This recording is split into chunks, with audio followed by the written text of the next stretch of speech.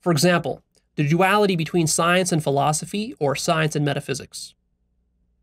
This is another sticking point for many scientifically minded people is they tend to think that science is distinct from philosophy and science is distinct from metaphysics.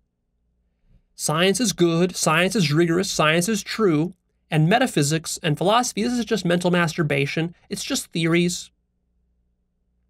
Has nothing to do with science. Except, of course, this is a totally ignorant position, completely ahistorical. If you know your history of where science came from, you know what science used to be called? There was not science 500 years ago. There was natural philosophy. Science evolved out of natural philosophy. Of course, that's been forgotten conveniently by many scientists today. Of course, in theory, they know it, but in practice, they don't actually practice it. They don't embody it because they treat metaphysics as some sort of separate and bad boogeyman field that is corrupting science if you engage in it, where actually it's the opposite. You see, when you're doing science without having done metaphysics, all that means is that you're doing science using very shoddy, unconscious, materialist metaphysics. You're sneaking the metaphysics in there into your science, into all of your experiments and all of your interpretations of your experiments. Is completely infested with a terrible metaphysics. But because you deny that metaphysics is important or relevant to what you're doing, you don't even know this. That's how ignorant you are. You're so ignorant of metaphysics, you don't even know that you have a metaphysics. And that is completely corrupting all of your science and all of your thinking. That's how significant this duality is. It's so easy to discount philosophy.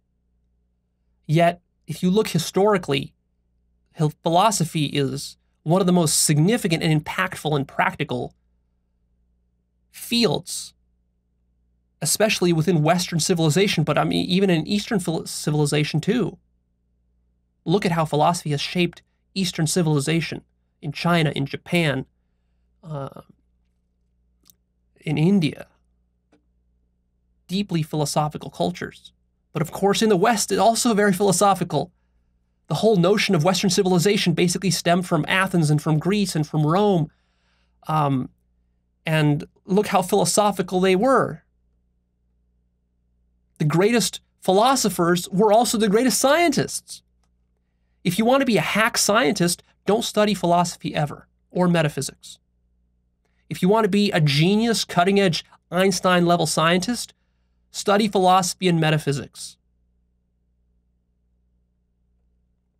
It's not an accident that, that our greatest scientists who made the, the biggest breakthroughs were deeply interested in metaphysical and philosophical topics, whether it's Isaac Newton or Kurt Gödel or Albert Einstein or Niels Bohr or Schrodinger, David Bohm. I mean, I could just keep rattling on and on. This list doesn't end. Science is actually just a subset of philosophy. That's all it is.